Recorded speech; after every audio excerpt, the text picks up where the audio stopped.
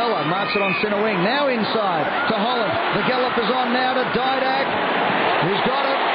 Outside 50, Alan Didak, but he's a thumping kick. We'll need to kick this all the 55.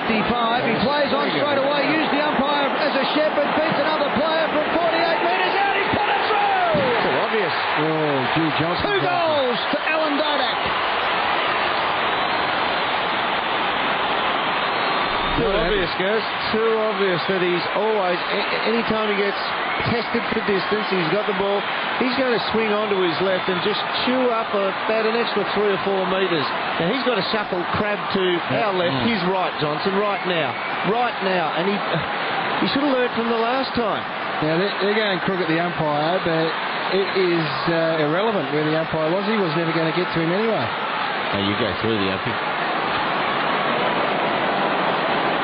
Didak with two goals.